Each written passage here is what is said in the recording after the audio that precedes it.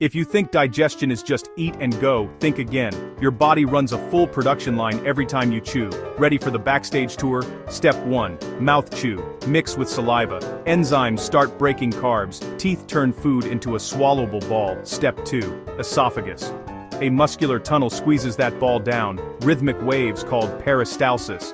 Step 3. Stomach acid mashes proteins. Enzymes break proteins. Soupy mix called chyme. This is where heavy-duty breaking happens. Step 4. Small intestine. The main event. Bile finishes digestion, pancreatic juices finish digestion, intestinal walls absorb nutrients into your blood, that's your fuel. Step 5. Large intestine water gets reclaimed, good bacteria party. Solids, form. Final step. Rectum and exit.